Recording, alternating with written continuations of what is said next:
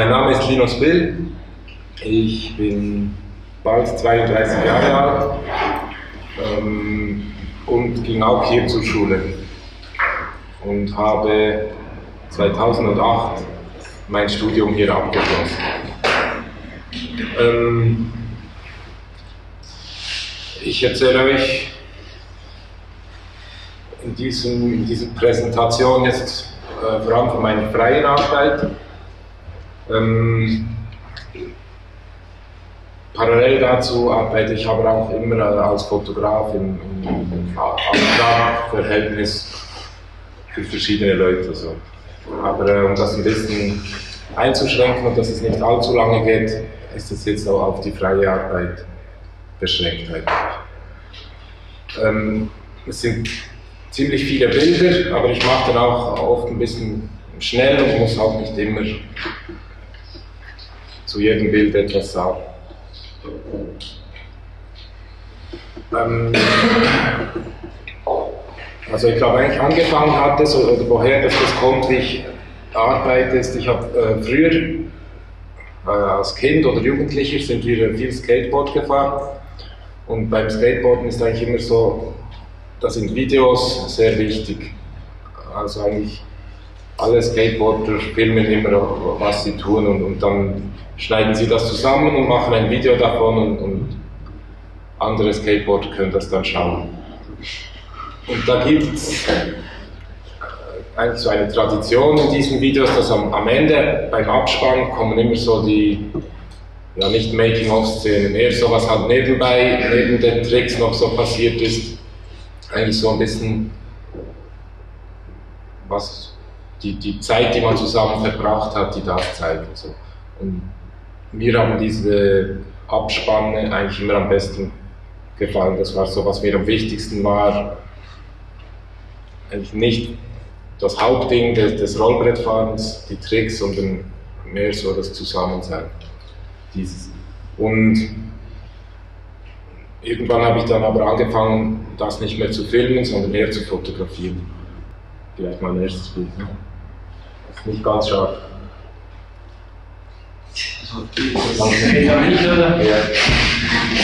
Nicht. Meine Bilder sind scharf. Vielleicht sind auch die Bilder nicht scharf. Ja, und ich habe dann eigentlich immer äh, in meinem Umfeld fotografiert und hatte dann irgendwann auch eine kleine Kamera, die ich immer dabei haben konnte, nicht so aufwendig wie die große Videokamera. Und habe eigentlich diese Bilder gemacht und erstmal gesammelt, so wie so ein Archiv angelegt ohne damit schon äh, zu arbeiten. Ähm, bevor ich hier an die Schule kam, war ich ein Jahr an der F&F-Schule. Äh, die ist auch in Zürich, da an der Fotoklasse, weil ich habe die, die Aufnahmeprüfung für den Vorkurs hier in Zürich habe ich nicht bestanden. Und dann bin ich ein Jahr äh, an die F&F-Schule und habe dann gedacht, dann mache ich danach dann hier die Aufnahmeprüfung. Und das war dann eigentlich meine Arbeit, äh, meine Mappe für die Aufnahmeprüfung. Und an der F&F-Schule, äh, da kam ich ziemlich blind hin. Also da war meine Mappe für die F&F-Schule, das waren alles so schwarz-weiß Fotos, ganz grobkönig und alles mit Fischauge-Objektiv fotografiert. Weil das also kam auch von diesem Skateboard-Ding her, da hat man halt immer Fischauge, um möglichst viel drauf zu haben. Und da waren dann äh, zwei Lehrer, das waren eigentlich Assistenten äh, an der von der Schule, die haben so beim Labor oder bei Studioaufnahmen haben die assistiert. Das war äh, Nick und Melanie hießen die. Und die haben an einem Tag, haben, haben die einfach mal so gefragt, was kennt ihr eigentlich oder kennt ihr das und so. Und ich hab, wir hatten keine Ahnung, wir kannten nichts. Und dann haben die am nächsten Tag zwei so Bananenkisten voll mit Büchern mitgebracht. Und, und da ging für mich so eine neue Welt auf. Es waren alles Arbeiten, ich hatte keine Ahnung, dass es das gibt. Ich habe das noch nie gesehen. Das waren so, also an William Eggleston erinnere ich mich, oder Larry Clark Bücher hatte es und so. Das war, ja, das war für mich ganz krass, weil ich das überhaupt nicht kannte und es war ein ganz äh, wichtiger Eindruck. Und auch bis heute noch sehr viele Arbeiten, die ich kenne, äh, lerne ich durch Bücher kennen. Also für mich ist das Buch ein sehr wichtiges Medium, eigentlich um besonders für Fotografie, um die Arbeiten anzuschauen. Ich verstehe auch sehr viele der Arbeiten eher in Buchform als, äh, als Werke, ausgestellte Werke. Gut, und darum habe ich dann, selbst wollte ich dann unbedingt selber auch ein Buch machen und dann für die, die, die Mappe habe ich so ein, äh, mit Bildern aus meinem Archiv äh, gearbeitet und, und hat bei einem Buch, vom Buch her kommen dann die Doppelseiten und dann äh, auch sehr formal gearbeitet als inhaltlich, einfach also Doppelseiten und Abfolgen, das erprobt eigentlich und geschaut, was passiert, wenn ich verschiedene Bilderpaare, was passiert in der Abfolge. Und so. Ähm, dann das nächste. Ja, das war dann das, das, das, die Aufnahmeprüfung und ich hatte dann Glück und wurde aufgenommen und durfte hier studieren. Äh, dann hatte ich nochmal Glück. Dann äh, ist eine Großtante von mir ist gestorben. Und die hatte keine äh, Kinder und keinen Ehemann und so, die waren, waren allein. Und, und so nach Gesetz hätte dann die, eigentlich die Generation meiner Eltern geerbt, aber die hatte so ein Testament, bei dem sie wie so eine Generation übersprungen hat und eigentlich allen Großkindern, das hat sich dann so stark geteilt, aber Geld vererbt hat. Und das war für uns in diesem Alter natürlich viel mehr Geld, als wenn das unsere Eltern gekriegt hätten und dann irgendwie in die Ferien gefahren wären und so. Und dann mit diesem Geld habe ich äh, mein erstes Buch finanziert eigentlich. So. Und, und, das waren dann zum Teil wieder Bilder, äh, die, schon, die ich schon hier verwendet hatte und zum Teil wieder neue. Ich habe eigentlich dann hier an der Schule weiter gearbeitet und immer das so in, in mein, meine Kisten gepackt und dann halt äh, einfach aus diesem Ding, aus diesem großen Wunsch heraus ein Buch zu machen. Dann so ein Buch gemacht und äh, weiß nicht, ob ich viel seht, aber ihr könnt es dann. Ähm, vielleicht zum Titel. Der Titel war eigentlich als ich dann hier an die Schule kam, ging es plötzlich auch viel auch um Theorie und so. es ging darum, so, dass Fotografie, das zeigt ja nicht die Wahrheit, das ist immer der Autor, der da eine Haltung einnimmt. Und ich fand das sehr langweilig, weil ich fand das sowieso, also es war klar für mich, dass es soll nicht darum gehen, etwas Dokumentarisches zu sein oder irgendwie so groß etwas über eine bestimmte Gruppe von Leuten zu erzählen, sondern es ging vielmehr einfach um, um um eine Sicht äh, auf die Welt oder äh, vielmehr um, um bildliche Sachen, also nicht, nicht sehr um, um erzählerischen Inhalt, so eins zu eins. Eher auch um, um äh, vielleicht so Absurditäten im, im Alltag oder so. Und, und mit dem Titel Pistol My Back and Tell Me It's Raining wollte ich das soll ein bisschen in eine Richtung lenken, wo klar wird, dass mich diese Wahrheitsfrage oder Realitätsfrage eigentlich nicht interessiert, dass ich lieber die Geschichte erzählt kriege, die gut ist, als die Wahrheit, die vielleicht nicht so gut stimmt. Und genau viel, also was äh, mich interessiert und dann auch, auch da schon eigentlich das Bild, der Aufbau vom, vom Bild und, und die Farben und Formen so eigentlich.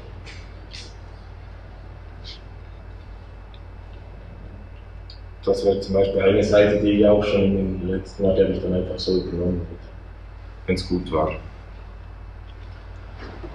Ein so Vorwurf oder ein Kritikpunkt, der immer wieder, den ich immer wieder zu hören gekriegt habe, war eigentlich, dass es so, es ist das Leben, das du zeigst, halt zu brav oder so zu, zu anständig. Es wäre interessanter, wenn ein bisschen mehr Drogen oder Sex oder Gewalt wäre oder so. Und deswegen habe ich das Bild da rechts eingenommen. Äh, da, das ist das Stempelfälschen. Eigentlich so, um in den Club zu kommen. Das war etwa so das Kriminellste, was ich gemacht Einfach auch, weil, ja, ich, weil auch das Ding da natürlich, ich finde diese Überlegung so komisch, das ist so schlimmes Schicksal, damit es interessant ist. Ich habe auch noch Sachen aufgeschrieben, ich schaue, ob ich was vergessen habe. Hast du genug Licht? Ja, ja, ihr nicht sagen für die Bücher. So. Ja, äh, danach, äh, nach dem Buch haben wir so eine Ausstellungsreihe gemacht in Hamburg. Es waren eigentlich vier Wochen und jede Woche jemand anderes eine Ausstellung. Das war eigentlich so meine erste Ausstellung. Und ich hatte nicht so eine Ahnung, wie ich das machen will. Ich wusste einfach, ich möchte nicht in der Dunkelkammer äh, Vergrößerungen machen. Das war alles auch negativ und da musste man da. Arbeiten wir noch in der Dunkelkammer? Ja, nicht alle. Aber ja, auf jeden Fall war das da. Ich wusste, ich habe keine Lust dazu. Ich, ich, mir entspricht die Qualität auch nicht von, von diesen Vergrößerungen. Ich hätte lieber äh, etwas gedrucktes, also mir hat das Bild gedruckt im Buch. Das war eigentlich für mich das Richtige, so stimmt es für mich. Und ich habe eigentlich einen, einen Weg gesucht, wie ich damit in einer Ausstellung arbeiten könnte. Äh, das war wie das Buch auch, 2006 war das. Äh, und ich habe dann einfach mit Laserprints versucht, einfach, weil ich die Qualität vom Druck von den Farblaserprints war für mich so am nächsten, am nächsten von, von einem Druck im Buch und auch was ich mir leisten konnte. Aber äh, man war der Größe limitiert und ich wäre auch, wäre gerne auch größer gegangen, aber es war nicht möglich. Und auch mit der Hängung hatte ich keine Ahnung und das war dann wahrscheinlich auch so ein bisschen Tillmanns inspiriert. Und das war damals sehr groß. Ähm, ja, auf jeden Fall, ich war überhaupt nicht zufrieden. Ich war so mit dem Buch zufrieden damals, aber mit der Ausstellung überhaupt nicht. Ist es für euch sehr unscharf? Oder stellt ihr das?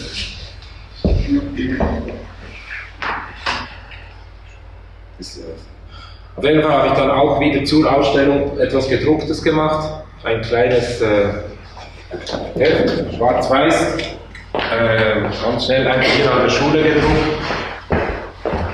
Äh, weil ich einfach dachte, die Ausstellung, die dauert eine Woche, das sehen so und so viele Leute und dann ist es vorbei und ist wieder weg. Und dann habe ich gedacht, das äh, gedrucktes, das habe ich dann bis heute. So, das bleibt und das kann man auch viel besser verteilen. Das kann man in Buchhandlungen schicken oder sonst verschicken. Das ist wie so, das kommt in Umlauf und, und die Ausstellung ist halt sehr limitiert. So.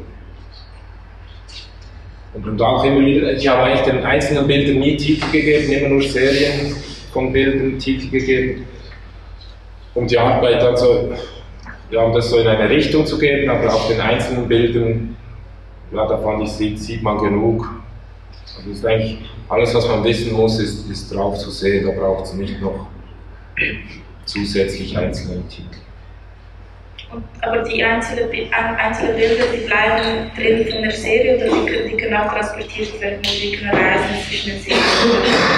Zwischen? Zwischen den, zwischen den verschiedenen Serien können die Bilder ja, reisen? Ja, also zum Beispiel hier äh, der Umschlag, also das Cover war auch schon im, im, letzten Buch. Das war eigentlich das einzige Bild, was doppelt war. Mhm. Und dann das sind eigentlich, ja, das konnte auch werden. Also da jetzt bis jetzt ist alles eigentlich noch dasselbe. Also es ist einfach eine Arbeit da. So. Äh, wie gesagt, hatte ich so ein bisschen Probleme mit, mit der Fotografie, wie ich diesmal als, als Werke hinkriege. Also das hat für mich in Büchern hat funktioniert, aber so als Werke zum Ausstellen hat es nicht gestimmt und ich war nicht zufrieden. Und was mich auch gestört hat mit der Fotografie, war so, dass ich immer so, ich hatte stark das Bedürfnis für mich, äh, etwas arbeiten zu können. Ich hatte so diese romantische Vorstellung auch vom Künstler, der in seinem Atelier malt oder zeichnet oder so. Ich hätte das auch gerne gemacht, aber bei meiner Arbeit, ich musste einfach, ja, ich musste irgendwie raus und etwas erleben, damit etwas entstand. Und, und ich hätte sehr gerne für mich arbeiten können. Und ich war dann ein, äh, ein halbes Jahr in Paris in einem Atelier und hatte da eigentlich nichts zu tun. Ich kannte auch niemanden und hatte eigentlich da diese Situation, von dass ich eben alleine bin und selber und was.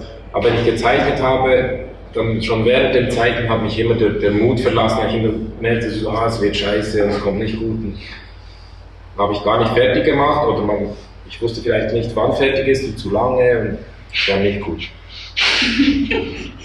Und dann äh, habe ich mich trotzdem so ein bisschen an der Fotografie festgehalten und, und habe mit äh, Fotogrammen eigentlich gearbeitet. Also ich habe ja, ich habe in der Dunkelkammer eigentlich äh, gearbeitet und so auf Fotopapier und habe eigentlich so Taschenlampen so ein bisschen so modifiziert, dass nur ganz wenig Licht rauskam, dass ich eigentlich zeichnen konnte.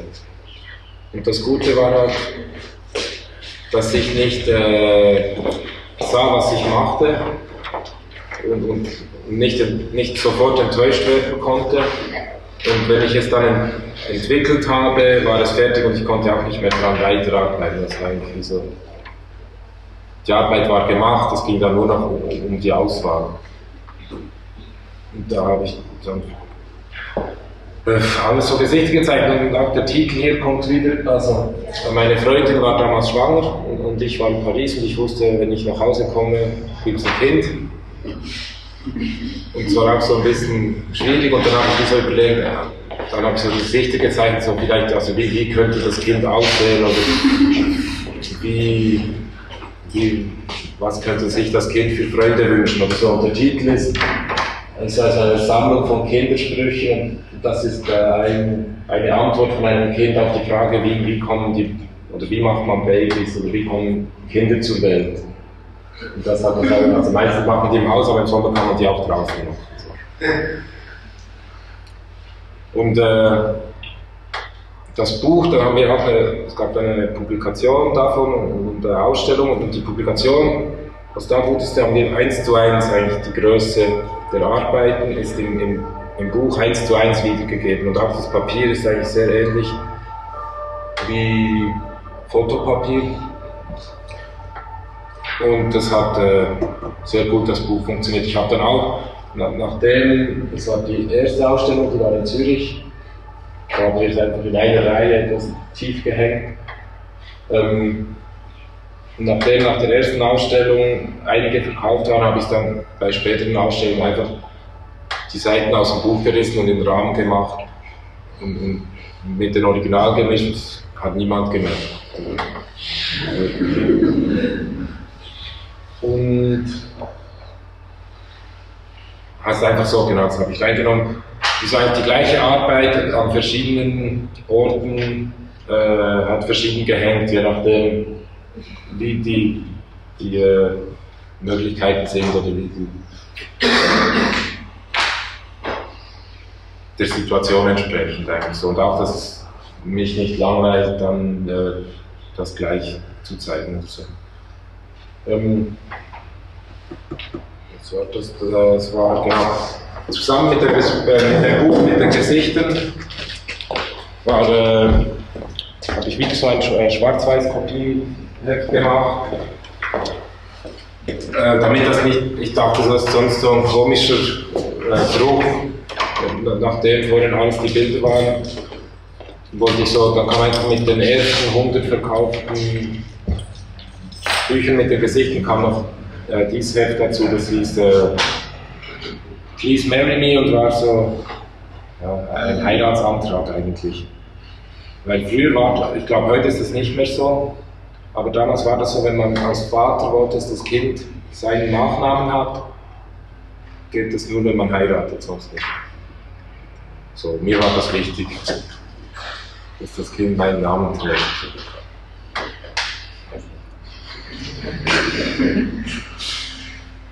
So.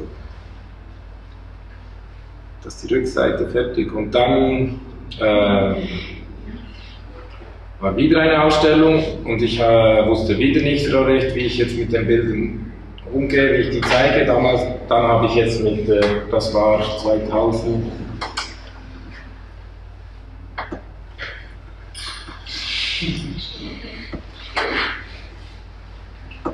2008 Äh, damals, dann habe ich es dann mit Zellprints versucht und habe da noch einen Freund angestellt, der mir geholfen hat, die zu printen, weil ich es nicht alleine geschafft habe. Und als es dann so gehängt war, das waren eigentlich nur die zwei Wände, äh, fand ich sie ziemlich so langweilig. Es hat mich hab so hingehängt, aber es war, das hat mich so kalt gelassen. War, war nichts für mich. Und weil ich mir eigentlich vorgenommen hatte, für jede Ausstellung etwas Gedrucktes zu machen, habe ich auch für diese Ausstellung wieder äh, im Vorfeld eine äh, Publikation gemacht. Die hier, Prima Vole Modello.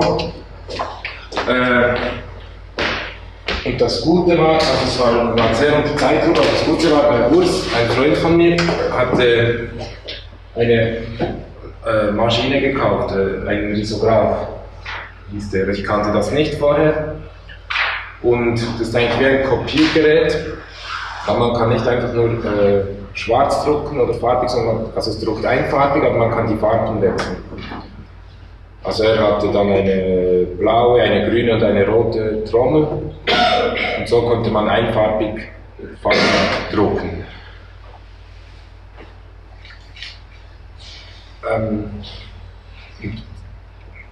der hatte diese Maschine gerade neu und wir waren sehr motiviert, die auszuprobieren. Also was kann man damit machen und was. Und ich hatte die Ausstellung, da habe ich das bekommen. Ähm, wir machen ein Buch für die Ausstellung und äh, ich habe dann wieder aus dem Archiv Bilder, die ich noch nicht verwendet hatte oder zum größten Teil noch nicht verwendet hatte, hat, äh, editiert, in eine Abfolge gebracht und, und eigentlich drei Kapitel gemacht die aber inhaltlich sich nicht unterscheiden, die eigentlich nur nach, nach den Bildern gingen. Also dass ich mir überlegt habe, welche funktionieren gut in Grün und, welche funktionieren gut in Braun und welche besser in Rot. So.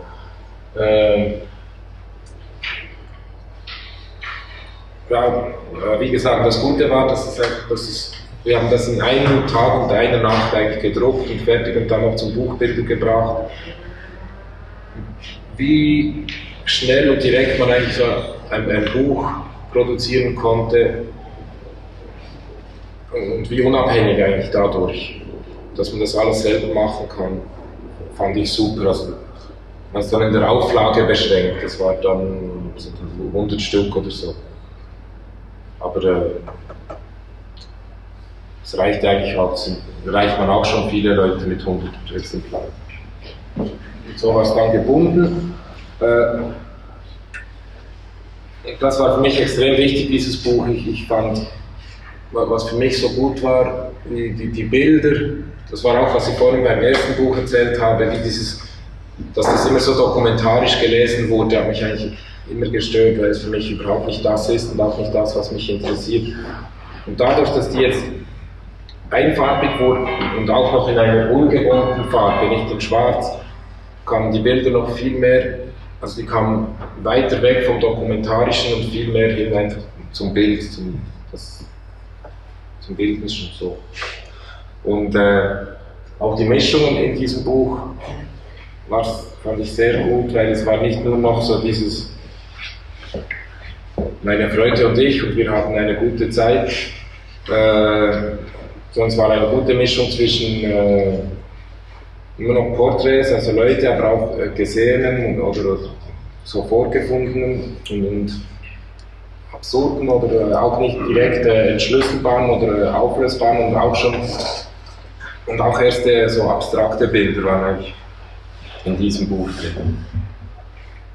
So, was halt wirklich nur noch Form und Farbe war. Ähm, und dann eben hatte ich diese Ausstellung mit den Zeppelins so schön im Raster an die Wand gehängt und Glas vorne dran. Und dazu das Buch. Und eigentlich das Einzige, was mich interessiert hat, war das Buch und die Ausstellung überhaupt nicht. Und dann habe ich, ich wollte aber eigentlich Ausstellung machen und das hat mich interessiert und ich habe nach einem Weg gesucht, wie ich meine Bilder eigentlich in eine physische Form bringen kann, die ich gerne zeige, die ich gerne einstelle da ich mit der Qualität von den Bildern im Buch so fasziniert war, habe ich versucht, eigentlich genau das Gleiche einfach größer zu machen, dass es auch äh, an einer Wand funktioniert. Und dieser Risograph, das funktioniert eigentlich wie Siebdruck. Der spannt ein Sieb auf diese Trommel und drückt die Farbe durch. Also ist eigentlich ein kleiner automatischer Siebdruck. Und dann habe ich äh, einfach angefangen, äh, die Bilder als Siebdrucke zu machen.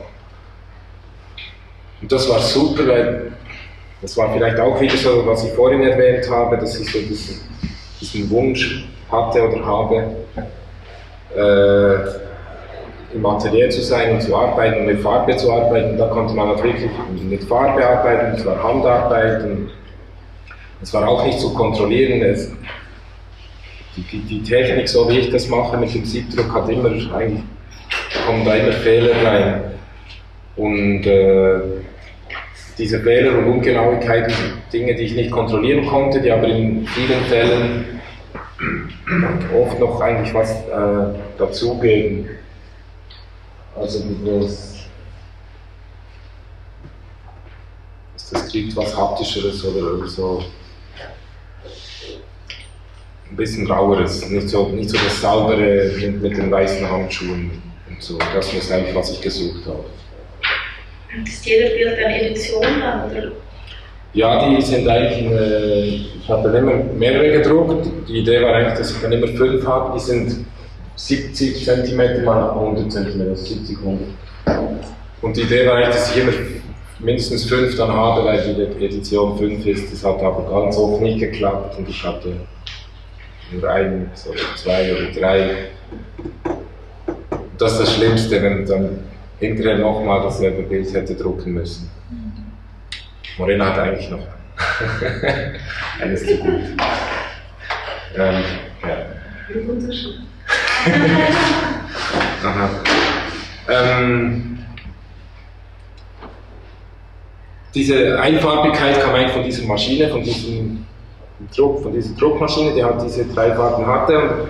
Ich, bei einigen Bildern hat das extrem gut gestimmt, da war blau genau das Richtige und so war das gut. Und bei anderen war es vielleicht eher ein Kompromiss und dachte, ah, das wäre doch wieder besser farbig. Und dann habe ich auch angefangen, äh, vierfarbige Siebdrucke zu machen, wieder und die dann zu mischen. Und da habe ich eigentlich von, von da an war wie so alles offen plötzlich. Und ich habe für jedes Bild die ideale Form oder Farbe gesucht und, und das so äh, gedruckt.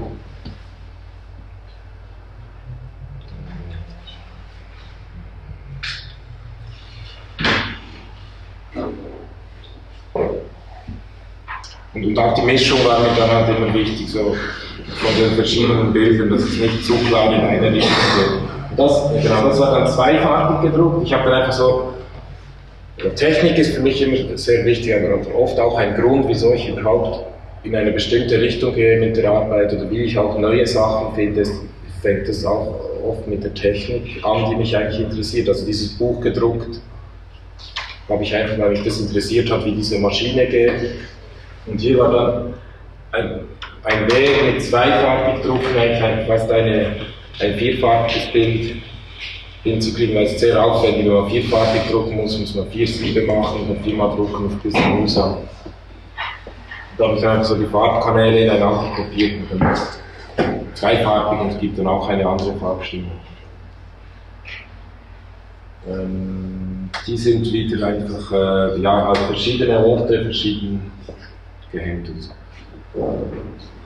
Ähm, genau. Und dann in, Amsterdam gibt es das, ich weiß gar nicht, wie man das sagt, Phone Form Museum, das war ein Fotografiemuseum in Amsterdam. Die haben mich gefragt, ob ich äh, eine Ausstellung machen möchte und ich dachte, wow, super, ja, sehr gerne, äh, ob sie mir Pläne von den Räumen und Fotos schicken können. Habe ich gesagt, ja, es ist oben im Project Space und das ist eigentlich die Bibliothek und die Fotos sahen dann so aus, die sie mir geschickt haben. Und ich war ein bisschen enttäuscht, weil ich ja im Internet gesehen habe, dass sie unten einen Stock tiefer haben. Sie Riesenräume, sehr hoch und richtig so toll. Und ich habe eigentlich gedacht, wow, oder so. Und, und, und da hatte ich eigentlich hatte keine Ahnung, ich wusste nichts, was ich da zeigen könnte, was mich motivieren würde oder so.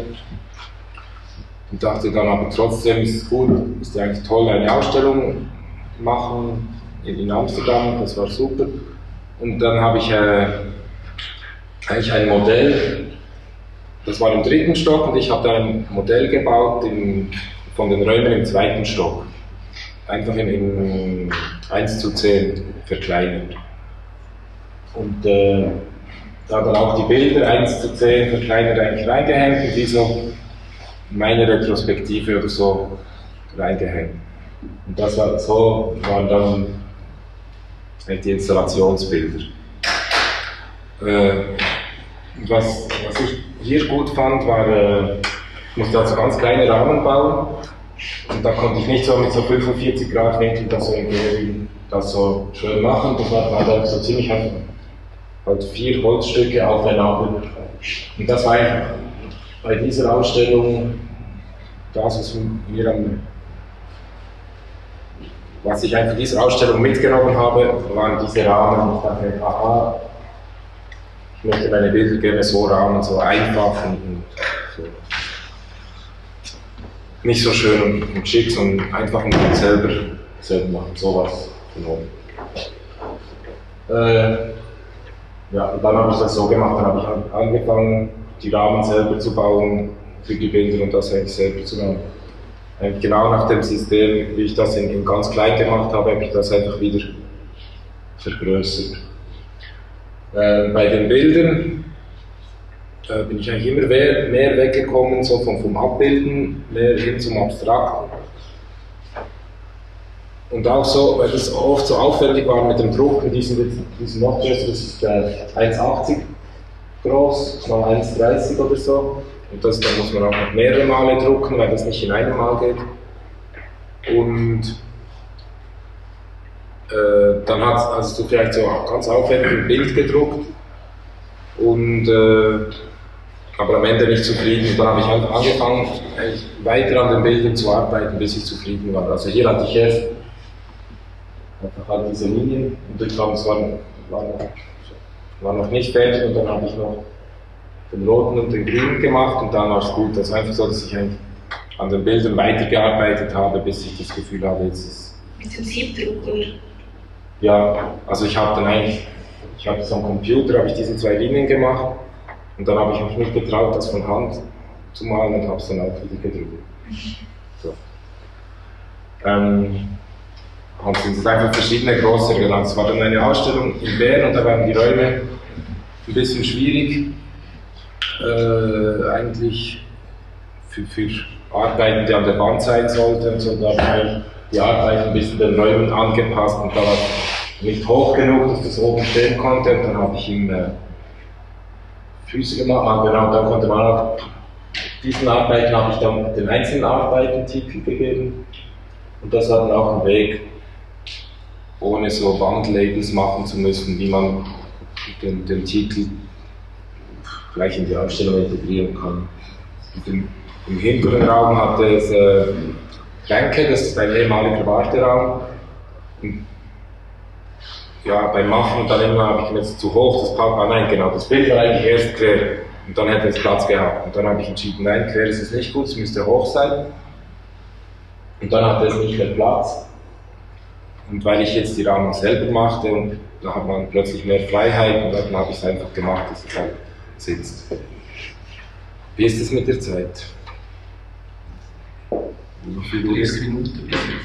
Okay, ich muss ein bisschen vorwärts. Ja. Aber dann war, äh, ich bin dann zurück von, von Zürich wieder nach Biel gezogen, wo ich auch aufgewachsen bin. Und in Biel gibt es ein Fotoforum äh, mit mehr oder weniger interessantem Programm.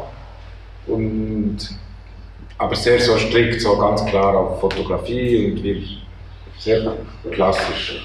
Und die haben mich gefragt, für eine Ausstellung zu machen. Das fand ich eigentlich gut. Aber für mich war klar, dass ich das nicht alleine machen möchte, weil, weil ich schon da wohne und dann in der eigenen Stadt, in der man schon wohnt, die sowieso schon klein ist, ja, dachte ich eigentlich, bringe ich lieber noch äh, mehr Leute mit, auch mit der Hoffnung, dass, weil ich sonst das Programm vom Fotoforum nicht sehr spannend fand, vielleicht ist ja, etwas ein bisschen eine spannendere Ausstellung. Und ich habe dann äh, Patrick Harry und Tim Ulrichs gefragt. Patrick Harry hat auch mit uns hier studiert. Und ich habe eigentlich nach Leuten ges gesucht, die den,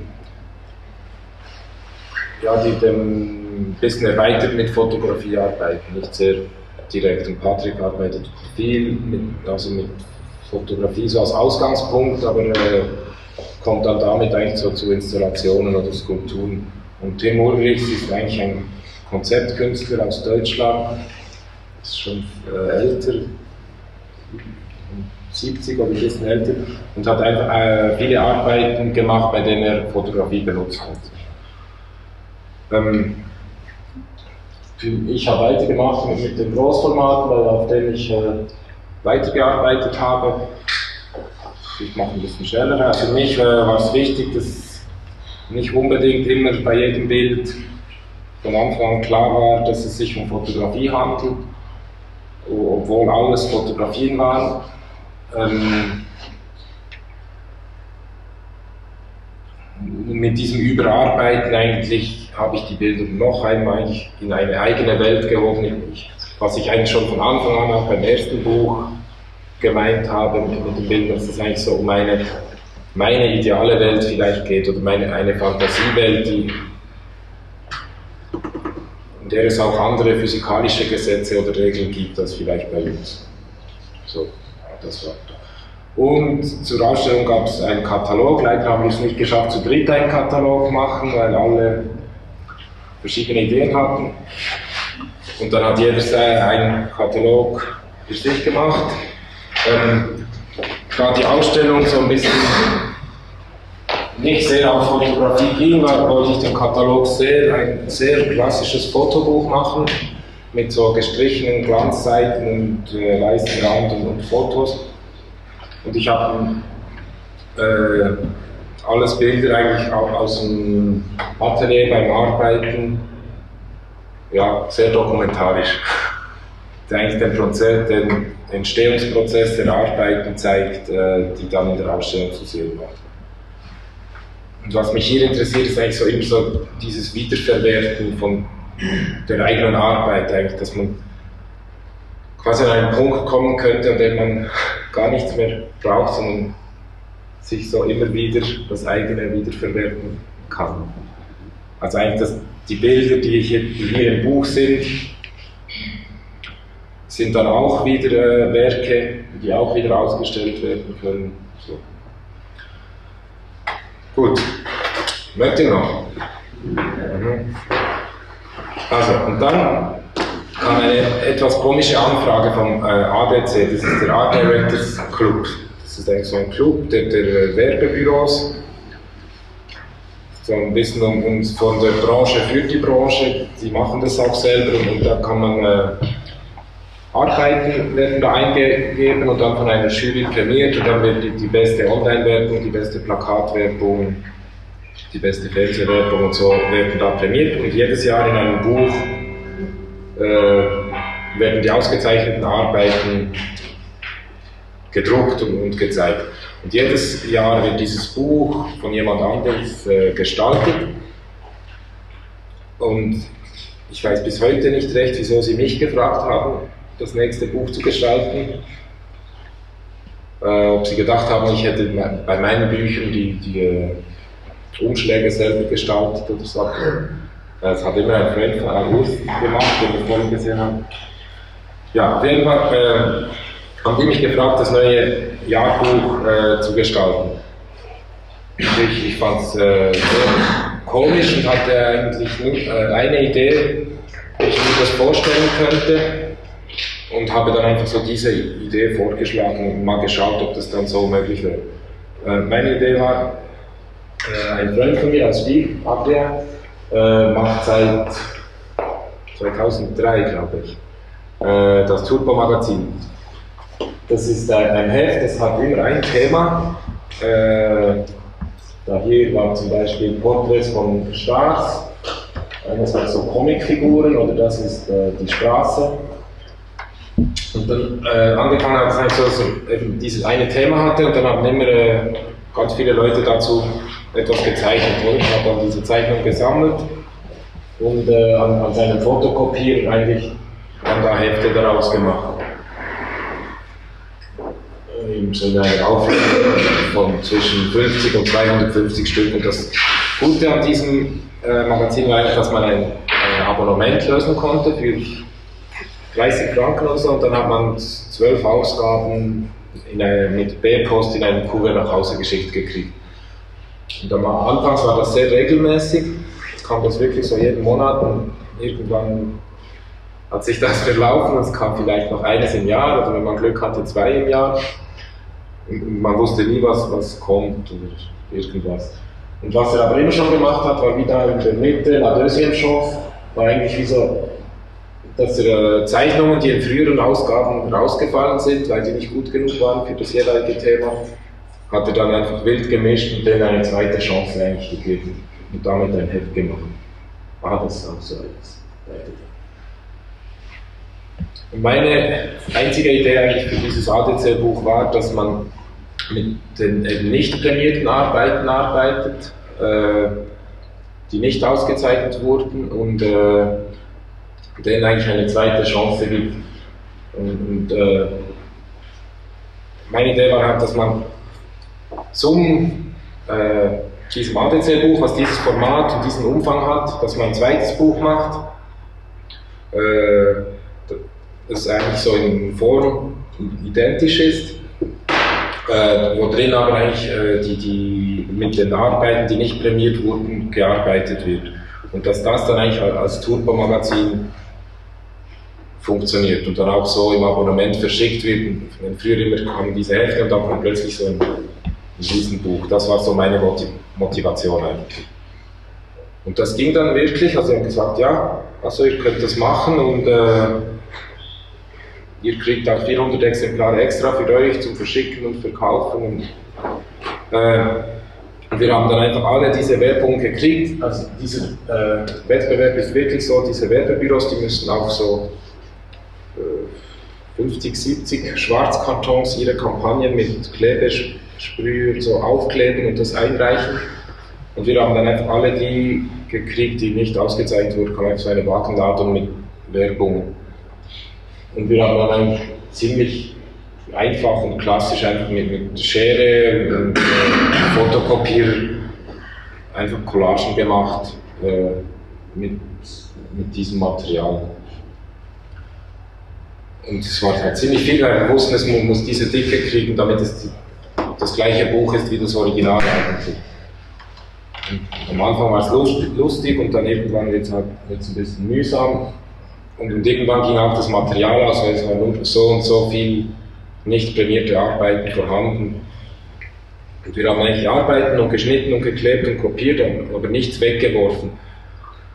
Und irgendwann war man zwei oder dreimal schon durch den ganzen Stapel durch und es hatte nichts Neues mehr, was motivierend war, um damit zu arbeiten.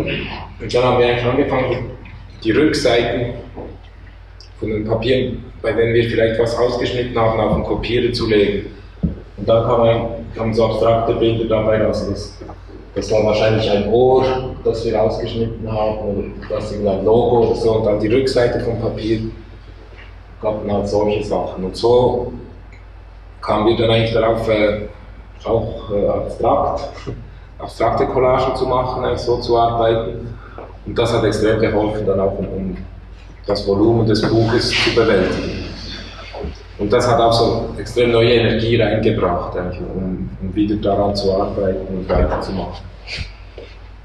Als das Buch dann gedruckt war, fertig, haben uns diese, äh, diese abstrakten Collagen eigentlich sehr an Malereien oder, Kunstwerke in alten Katalogen erinnert. Also wenn man im Buchantiquariat alte Ausstellungskataloge anschaut, dann ist ganz oft der Umschlag ist farbig gedruckt und innen dann aus Kostengründen alles schwarz-weiß.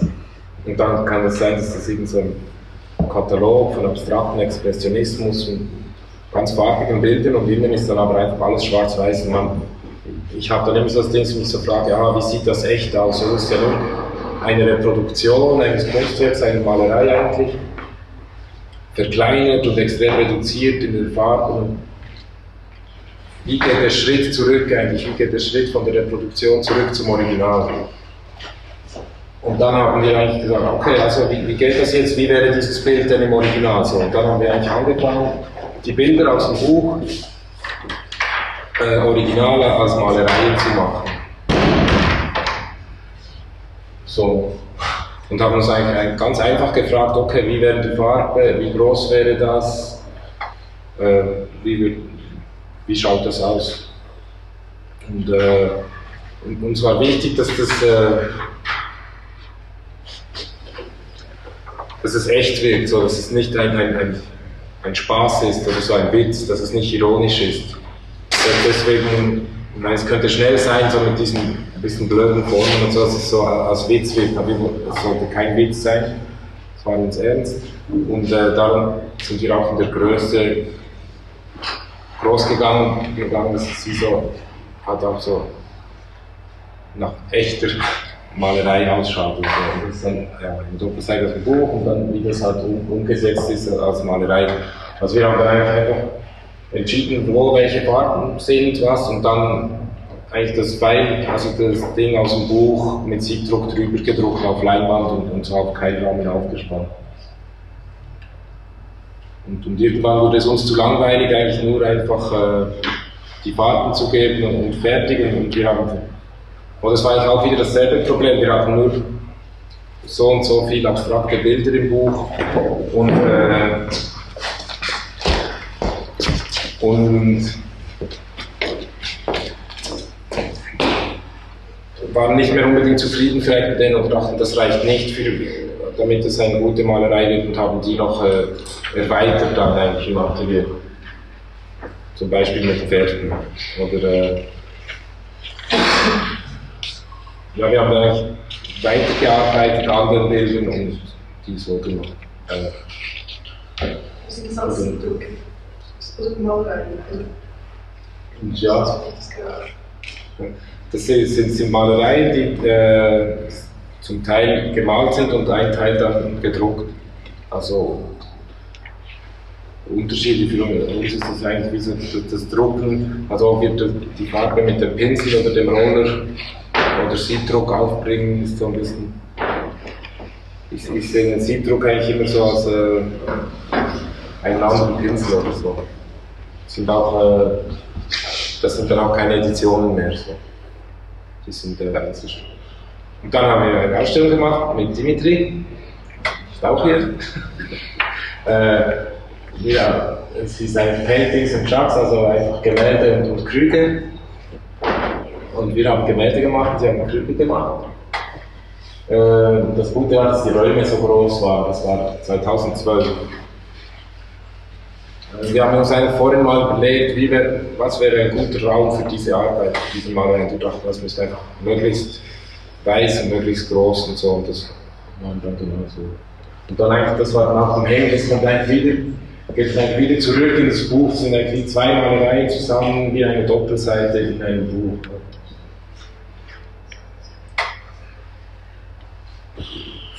Ähm, wir müssen ein bisschen sagen mit dem Tempo, ich merke, es geht ein bisschen zu lang. Gibt's noch viel? Gibt's noch viel? Ja, nicht so. Ich mach mal bisschen. Ne? Ja, was eigentlich, was mich interessiert daran ist so ganz etwas Einfaches, Blödes, Kleines eigentlich zu machen. Das ist dann ein nächstes Turbo-Magazin, das wir gemacht haben, so ganz klein, so 7 cm hoch etwa. Danke. Äh, das ist Fundamentals und da wollen wir wirklich so die Grundlagen machen, möglichst einfach werden. Eine Idee beim Machen war auch mal, dass, so, dass man dachte, als Stück, wie heißt das auf Deutsch, so zum, wenn man eine Aufnahmeprüfung in eine Kunstschule machen will, kann man das so zum Bescheißen brauchen für so Kompositionen oder so. Ähm, ja, das haben wir auch ganz einfach, einfach mit, mit Schere am, am Fotokopierer gemacht und äh, was mich daran interessiert, ist eigentlich so etwas Kleines, das sehr schnell gehen kann und auch so im ersten Moment sehr blöd sein kann, das aber ein, dadurch auch eine Qualität hat von, von, von eben spontanen und ungenauen und schnellen. Das eigentlich zu transportieren in, in etwas Großes, Ernsthaftes, Erhabenes. So. Und dann mit den Fundamentals äh, haben wir auch eine Ausstellung gemacht, aber das andere haben wir nicht mehr einfach das Schwarz-Weiß-Pfeil genommen, darunter Farbe gemacht und das drüber gedruckt. Da haben wir jetzt eigentlich äh, das mehr äh, auch farbig gedruckt, eigentlich das Bild nicht mehr einfach so aus zwei Schichten angeschaut, Farbe und Schwarz-Weiß, die haben gar keine Schwarz mehr so direkt umgesetzt. Ähm, das war ganz kurz, ja genau. Eigentlich wie man, was ich auch immer gut finde, ist für Einladungen, für Ausstellungen, wie man damit auch äh, eigentlich Kontext zur Ausstellung bringen kann. Ähm, also dass man nicht einfach ein, ein Bild bringt auf, auf, der Einladung, das dann auch in der Ausstellung zu sehen ist, sondern dass wir, dass wir mit diesem Bild auf der Einladung eigentlich einen Hinweis darauf geben, dass die Malereien, die da in der Ausstellung zu sehen sind, eigentlich einen Ursprung beim Fotokopieren haben. Das war dann ein Zeitungsartikel, da haben wir auch extra dann eine Reproduktion des Buches genommen, das auch wieder einen Hinweis eigentlich geben könnte, wenn es denn jemand sieht oder versteht, äh, da war es dann in der Ausstellung. In der Ausstellung ist eigentlich nur das zu sehen, dass man mit der Einladung oder der Zeitung oder was also Hinweise gibt oder einen, den Weg aufzeigt, um äh, das nicht alles erzählen oder schreiben zu müssen, also auch bildnerisch erzählen kann. Auch wieder einfach an verschiedenen Orten verschieden gehängt. Ähm, das war dann noch, das war in, in Milano eine Ausstellung. Da ging es darum, eigentlich das war eine Ausstellungsreihe, da haben die Leute immer auf diese Wand gemalt. Das ist eine 15 Meter lange Wand und da musste man eigentlich auf, auf die Wand malen. Das war ein bisschen auch komisch erst für uns, aber wir gingen dann einfach auch wieder von diesen Kopien, von diesen Fundamentals aus und haben dann eigentlich dieses Foto benutzt, das wir gemacht haben von den Schwarz-Weiß-Kopien am Boden und haben dann eigentlich eins zu eins einfach die Bilder so ausgeschnitten und äh, dann so an die Wand gemalt. Deswegen waren die dann auch so verzogen, weil die halt einfach vom Foto direkt so auf die Wand übernommen wurden und weil das halt dann ein bisschen schräg war und so, daher waren die dann verzogen. Ähm, vielleicht ein bisschen als, als Verbindung, was das dann für mich noch mit Fotografie zu tun hat, ist eigentlich immer noch, früher hatte ich ein Negativ, hatte ich das Bild und habe irgendwie nach Wegen gesucht, das äh, zu einem physischen Objekt zu bringen, das ausstellen zu können. Ich hatte etwas Kleines und wollte es irgendwie zu einem Objekt hinbringen und hier machen wir eigentlich jetzt immer noch dasselbe. Also etwas Kleines, eine Vorlage und wie bringt man das groß hin? Also, ja, wie setze ich das um? Wie ist die, die Verschiebung in der Größe? Wie, ist, wie ändert sich das im Material von einer Vorlage da zum fertigen Werk eigentlich so? Ähm, diese arbeiten jetzt da seit diesem, den, seit diesem ADC-Buch sind eigentlich alle zusammen mit Adria. Und äh, Adria hat eine Freundin, die ist aus Bogota und dann ist er auch, war jetzt oft auch da in Bogota und dann, damit wir nicht aufhören müssen zu arbeiten eigentlich in dieser Zeit, haben wir viel jetzt über Computer eigentlich oder über das Telefon so einander hin und her geschickt äh, arbeiten. Und dann, dann wie so, wie, einer schickt etwas, der andere arbeitet weiter. Und das sind dann eigentlich wieder diese Vorlage, Vorlagen und die setzen wir dann wieder um. Und, im Moment ist etwas, was uns stark interessiert, ist auch so diese Wiederholungen eigentlich. Also wieso noch blöder, so diese einfachen Sachen und dann bringst du es noch zweimal und, und, dadurch kann das extrem verwirrend werden und, und man kann, ja, muss, muss da lange hinschauen. Plötzlich tut sich extrem viel auf, obwohl es auch im ersten Moment sehr blöd ist. Es kann dann einfach sein, dass ja, das sind das halt rund und dann hat man ein bisschen viel schon immer diese Kreise gesehen, da macht der andere dann halt einfach Vierecke drüber. Und eigentlich wäre es gedacht, dass man am Ende zu einem Bild kommt, aber jetzt haben wir angefangen, beide zu benutzen, weil das auch so einen Weg aufzeigt, eigentlich. Oder diese Wiederholung äh, bringt, ja, kann man viel dann denken. Oder auch Wiederholung dann im Bild. Ja, dann haben wir auch angefangen, eigentlich auf dem Telefon oder iPad zu zeichnen und das hin und her zu schicken. Das ist dann eigentlich so ein, ein File vom Telefon und dann umgesetzt auf, auf die Leinwand. Also ist das letzte, ja? Ähm, das ist eine Publikation, die wir gemacht haben, die heißt der Skulptur, zeigt Skulpturen und da war es äh, eigentlich so, da war eine, eine Buchhandlung in, Griechenland. Sie äh, hat uns äh, eingeladen, eine Ausstellung zu machen. Die haben sehr wenige Bücher für das, dass eine Buchhandlung ist und sehr viel Platz sonst noch. Und da haben wir auch gesagt, ja, äh, klingt doch gut, schickt uns bitte einen Plan und Bilder damit wir eine Vorstellung haben, wie das ausschaut und damit wir wissen, was Sinn machen würde, da zu zeigen. Und dann äh, haben sie uns irgendwie drei Bilder von, von den Räumen geschickt und da waren überall so diese komischen Möbel drauf. Das war eigentlich so das Auffälligste, dass die da so selber gezimmerte Designmöbel drin hatten. Und unsere Idee war eigentlich, dass wir mit diesen Bildern von den Räumen, die sie uns geschickt haben, diese Fotos, dass wir eigentlich die als, als Rohmaterial brauchen, um äh, damit Bilder zu machen, wieder eigentlich am, am Fotokopieren. Dass wir diese Formen von diesen Möbeln eigentlich brauchen, um, um Bilder zu machen. Ähm, jetzt kam, da, kamen dann aber keine Bilder raus, sondern äh, Skulpturen. Also beim Machen wurde dann klar, aha, es gibt keine Bilder, sondern es gibt Skulpturen. Und dann haben wir ein, äh, eine Arbeit gemacht, die wie so Reproduktion, also so Fotografien von Skulpturen eigentlich. Und gleichzeitig hat uns jemand gefragt, eine Publikation zu machen. Da dachten wir, ah super, das geht gerade zusammen, da können wir den Katalog eigentlich für die Ausstellung machen. Und die Ausstellung gibt es dann gar nicht wirklich, sondern eigentlich nur Bilder der Werke. Und die Ausstellung kam dann gar nicht zustande, weil die Kommunikation ein bisschen schwierig war. Aber eigentlich wie bei den Bildern vorher, wo man eigentlich erst eine, ein Abbild hat, eine Reproduktion des Werkes und hinterher das Original macht, arbeiten wir jetzt eigentlich bei den äh, Skulpturen daran, dass man äh, das Abbild, das Foto eigentlich der Skulptur hat und hinterher jetzt das Original eigentlich bauen. Eigentlich machen wir die jetzt aus, aus Beton. Ähm,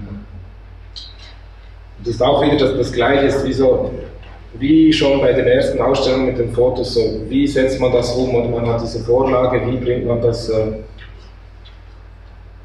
bei, bei, der Fotografie entscheidet man sich beim, beim, Papier oder der Technik und was. Die Größe ist immer wichtig, oder wie der Maßstab dieser Größenverschiebung ist eigentlich dasselbe. Und äh, da arbeiten wir jetzt im Moment äh, daran, die, die, diese umzusetzen und schauen, ob das funktioniert. Es ist eigentlich wieder dasselbe. Was ich eigentlich sagen will, ist, dass bei den Fotografien war das dasselbe, bei den Malereien und jetzt bei den Skulpturen sind eigentlich immer die, die gleichen Fragen. Es kommt ein bisschen was anderes dabei raus, aber es sind die gleichen Fragen. Also es war, stimmt, da war nicht ganz besser. Eigentlich, äh, ich fotografiere aber auch immer noch, äh, aber äh, viel weniger äh, und vor allem äh, meine Familie. Und äh, ich stelle mir das ein bisschen anstrengend vor, wenn ich jetzt alle Jahre etwas äh, zeige oder präsentiere oder ein neues Buch mache mit so diesen Familienbildern, weil das, das kann sehr anstrengend werden für jemand Unbeteiligt. Und eigentlich sammle ich diese Bilder jetzt und ich, ich stelle mir vor, dass es in 20 oder 30 Jahren interessant sein könnte, für jemand Drittes, aber im Moment eigentlich äh, sammle ich die nur und, arbeite nicht damit. Das war ein Heft aus Italien, das der Thema Familie hatte und die haben mich gefragt und dachte ich, okay, wenn es so gut passt, ist, ist äh, sehr gut und dann habe ich eigentlich äh, einfach aus diesen Bildern heraus äh, eine Strecke äh, für das Heft gegeben. So. Und das ist eigentlich, was ich äh, für mich noch fotografiere, so diese Bilder. Das war andere Ausstellung zusammen mit, mit äh, das hat, das waren auch die Familienbildung, Erik van der Weide, ist ein Fotograf aus, äh, Holland, der in Brasilien lebt. Und da hat es für mich gut funktioniert, weil der hat auch diese Bilder von seiner Familie und das war ein bisschen, da haben wir ein bisschen Memory gemacht. Das ist eigentlich wie so jede Familienbild, da findest du immer beim anderen wieder die entsprechenden Dinge. So, es war jetzt, jeder hat das Gleiche. Und dann haben wir so ein, die, die gemischt und so ein bisschen Memories hat immer zwei, die eigentlich dasselbe sind. Danke.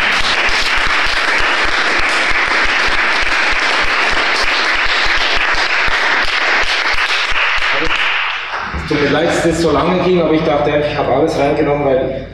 Äh, schon wichtig, um das Prozess ist. Ja, weil das halt auch hier die Fotoklasse ist, wo ich halt auch äh, studiert habe, diese Entwicklung, und weil ich das Gefühl habe, es hat immer noch viel damit zu tun, was von Anfang an die Probleme waren. Ja, ich weiß nicht, ob ich es dann verstanden habe, weil irgendwann muss es ein bisschen schneller gehen. Gibt es noch Fragen? Ja, ähm, die ersten ersten Bücher publiziert als Wie und wie hast du ausgewählt, wo die beziehst wo die auflesen und wie die Zeit? Mhm. Ähm, also beim ersten Buch zum Beispiel, das habe ich alles selber finanziert, oder? Ah, das habe ich beim zweiten auch noch vergessen zu sagen, ja. Da dachte ich eigentlich erst so, ja, wenn ich ja das schon selber finanziere, dann mache ich gleich meinen eigenen Verlag und bringe das selber heraus und so. Äh, und habe dann aber äh, doch äh, Benjamin gefragt, der den Jeves Verlag macht. Ich glaube, Urs hat mir gesagt, wäre wahrscheinlich schon gut, wenn man so ein bisschen Vertrieb hat und so. Und äh, ich habe dann ihn einfach äh, kontaktiert und gezeigt und gefragt, ob er das herausbringen möchte. Und weil ich das auch selber finanziert habe, habe fand das, war das eine leichtere Entscheidung für ihn auch. Wahrscheinlich, wenn, das, wenn ich da zu einem Verlag gegangen wäre, und die das auch noch selber, also sie das finanzieren hätten müssten, wäre das wahrscheinlich komplizierter gewesen. So. Und ich hatte einfach dieses Glück, dieses Geld zu haben. Und auch beim zweiten Buch mit den Gesichtern, da habe ich äh, für den Siemens -Geschäft, Geschäftsbericht gearbeitet, so als Fotograf, und wirklich so schlimm. Ich habe das nicht mal unter meinem Namen gemacht habe dann einen falschen Namen genommen und, die, und dann haben die nie bezahlt und ich habe immer so bezahlt und am Ende haben sie doppelt bezahlt, weil sie so ein Durcheinander hatten. Dann mit diesem doppelten Bezahlen habe ich das, das, das äh, Gesicht gemacht. So. Aber eben, und, und, äh, aber dann das äh, Dymavole Movello, das war dann viel günstiger, da haben wir einfach in der Auflage viel weniger gemacht und auch viel selber gemacht. Und da war es dann viel günstiger. Ähm, das andere war der Vertrieb, oder? Ja, eben, also zum Beispiel, ich habe dann auch sehr viel auch selber gemacht, obwohl bei Heres, das war auch 2006, da war der Vertrieb auch noch nicht so toll wie jetzt. Äh, ich war dann zum Beispiel äh, in New York, meine Mutter, die macht so Porzellanpuppen und die hatte jedes Jahr eine Puppenmesse in New York. Ich bin da mitgefahren, äh, mir da zu helfen, sie kann nicht sehr gut Englisch. Und dann habe ich einfach eine Kiste mit 100 Büchern mitgenommen und bin in alle Buchhandlungen und, und habe die da gegeben. Dann, einige haben gleich bezahlt, die meisten auf Kommission. Und dann bin ich dann einfach ein Jahr später dann das Eintreiben begangen. ähm, und, und, sonst, jetzt ist, äh, funktioniert das auch schon viel besser. Gibt es da Motto-Distribution? Motto Motto Distribution. Der hatte auch eine Weile einen Laden in Zürich, jetzt nicht mehr, es hat nicht so funktioniert. Aber jetzt in Berlin und der macht eigentlich auch guten Vertrieb. Es gibt eigentlich schlussendlich zwei, drei Orte, in, in New York ist das Print Matter, ein Buchhandel, der auch sehr guten Vertrieb hat. Es gibt so einige wenige und wenn man das denen geben kann, ist, eigentlich schon, ist es schon sehr gut verteilt. So. Ich hatte auch einen Freund getroffen, einmal, der, der, hat, früher, der hat auch so schwarz, die Schwarz-Weiß-Kopiehefte gemacht und hat die in den, im, im Kiosk oder in den Buchhandlungen an andere Bücher, die er gut fand, reingetan und gehofft, dass dann dass jemand mit gutem Geschmack da seine Arbeit findet. So. Auch ein guter Weg. Mhm. Hilft dir das? Ja. Wie schwer sind diese Betonskulpturen? Das ist das größte Problem im Moment, wenn wir da nachdenken. Also der Kleine, den du gesehen hast, der kleiner war als das, das Kind, der ist etwa 150 Kilo. Und das geht gerade noch so, aber die anderen sollen größer werden. Das geht überhaupt nicht. Und den zweiten, das war nicht, die Bilder waren noch von heute, da haben wir heute Morgen ausgepackt. Äh, da haben wir jetzt so Leichtbeton, Liapor heißt der, oder Liaver, diese, das sind so aufgeblähte Glasstücke, da nimmt man anstatt Kies, nimmst du diese Glasstücke, um das Volumen zu geben, den Zement. Und der ist jetzt ein bisschen le- le- etwa halb so schwer, der Zement dann, aber auf diese Größe wäre es immer noch viel zu schwer. Dann haben wir jetzt innen einen leichten Sagex-Kern eigentlich und, und außen nur noch etwa so dick die Wand. Aber ich weiß nicht, ob es hält, das war jetzt der erste Versuch. Und das andere wäre, dass du einfach einen Sagex schon das Positiv machst, nicht das Negativ zum Gießen, sondern einfach schon das Positiv in Sagex machst und das nur verputzt. Und das wird extrem leicht, wir haben auch einen so gemacht, aber es stimmt nicht, das ist dann halt aufgetragen, das ist nicht, hat nicht dieses Negative vom Gießen und ich habe gemerkt, dass uns dieses Gießen ist extrem wichtig, ist eigentlich ein sehr ähnlicher Prozess wie das Drucken. Du machst etwas und dann ist es eigentlich so, du kannst es nicht mehr verbessern. Es kommt so raus, wie es kommt. Und, und äh, so funktioniert es für mich irgendwie. Und umgekehrt, mit, wenn du so lange du daran arbeiten kannst und immer weiter, dann ist dasselbe Problem wie bei den Zeichnungen am Anfang. Und ist gut. Funktioniert nicht. Aber das Gewicht ist das große Problem bei dieser Arbeit. Das ist schwierig. Ja. Sorry, ja. Ja, vielen Dank. Danke.